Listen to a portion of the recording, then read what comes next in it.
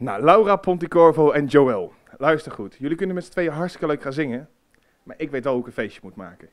En ja, ik ga ook jullie single draaien. En jullie mogen natuurlijk ook van harte komen. Maar voor alle kijkers thuis.